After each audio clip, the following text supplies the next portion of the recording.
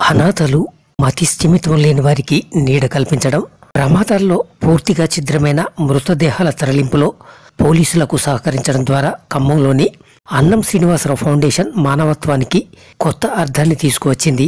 ప్రభుత్వ ఆసుపత్రుల్లోని అనాథ శవాలకు అంత్యక్రియలు నిర్వహించడం ద్వారా శ్రీనివాసరావుకు పోలీసులతో పరిచయం ఏర్పడింది. దీంతో గుర్తుపట్టడానికి కూడా వీలులేని శవాల తరలింపులో పోలీసులు ఆయన సహకారాన్నే తీసుకుంటున్నారు. శ్రీనివాసరావు కూడా ఇప్పుడు ఇదో వ్యాపకంగా మారిపోయింది.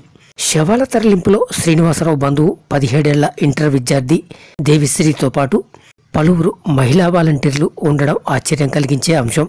రోడ్డు రైలు ప్రమాదాల్లో మాంసం ముద్దలుగా మారిన శరీర దేహాల తరలింపులో ఈ మహిళలు చూపుతున్న తెగువ అబురపరిచేదే శవాల తరలింపును వీరు ఎంతో ధైర్యంగా ఎక్కడ వెనుకడుగు వేయకుండా నిర్వహిస్తుండడం చెప్పుకోదగ్గ అంశం.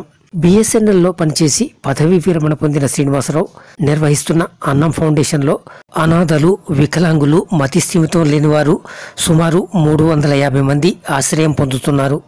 జిల్లా కలెక్టర్ చొరవతో పురపాలక సంఘం కేటాయించిన నైట్ షెల్టర్ ప్రస్తుతం వీరి సేవా కార్యక్రమాలకు కేర్ ఆఫ్ అడ్రస్గా ఉంది. ఫౌండేషన్కు స్వంత భవనం ఏర్పాటు చేయాలన్నది మా కోరిక అంటారు శ్రీనివాసరావుతో పాటు ఆశ్రమ నిర్వహణలో ఆయనకు సహాయకారిగా ఉంటున్న కె వేణుగోపాల్.